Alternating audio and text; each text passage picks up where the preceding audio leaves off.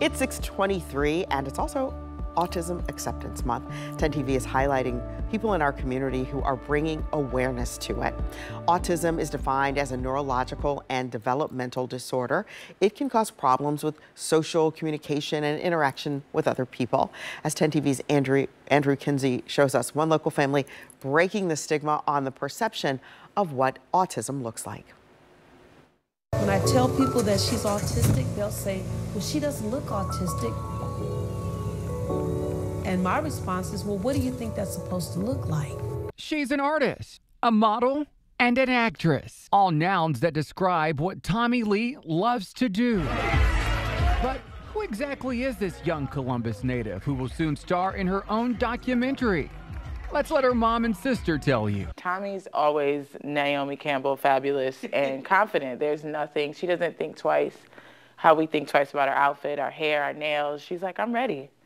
I'm ready. I, God, God made me this way. I'm ready. We describe Tommy, her superpower is her innocence and her confidence. She has been very inspirational for so many people because the arts just opened her up. Fabulous, creative, inspiring, and let's not forget, confident.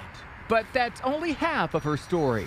She's also an autistic adult who lets her creative mind speak for her. Creativity gave her her voice. It, it was like her microphone, you know. She got to see how to express herself a little better than just communicating. That was her her happy space. That happy space helped Tommy Lee create this, a vast collection of art pieces.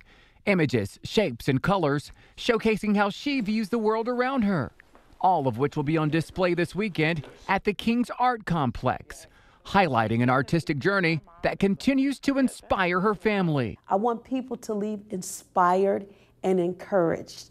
Um, you know, I'm a better person because of Tommy Lee, because of our journey. An accomplishment, they hope, touches the hearts of others. Her art, her essence, everything about her, it unifies and, and it, it creates a curiosity and people want to know more. So I, I encourage people to come in, learn more about, you learn more about yourselves through art. For 10 TV, I'm Andrew Kinsey.